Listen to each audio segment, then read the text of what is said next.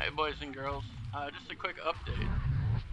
It appears Fortnite has uh, decided to remove the pods. Now that these trees are growing, there are no pods anymore. If you look on all of the, you know, all the little places, and then when you open up your, um, your, you know, your tree and whatnot, there don't appear to be any pods coming out of them either. It's kind of odd. I'm not sure what's going on with that, but it's just something that I noticed. And I don't think they've said anything to anybody yet. But I think that's the, that's the deal. Because, I'll show you in a second here. When I get there. When and if I get there. Know it's a million miles away, but...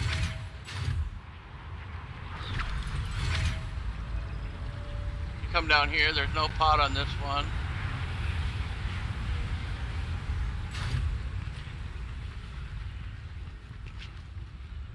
And wherever else the reality sapling comes out, there's no pods here.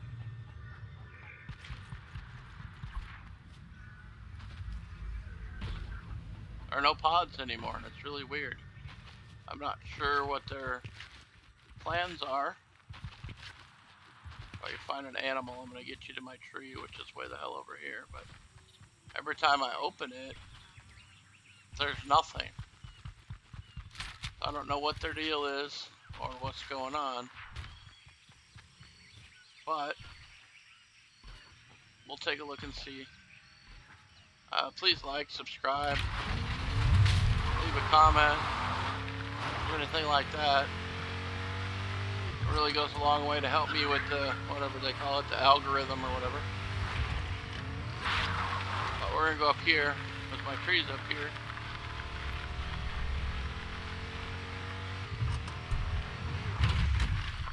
We're gonna see, see no, no pot or nothing. That was the last tree that I had.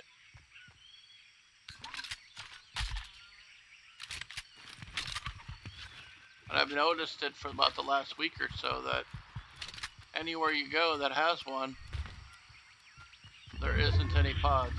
So um, please like, subscribe, comment again. And let me know what you think about the fact that there's no pod and no trees will be growing again. Have a great day.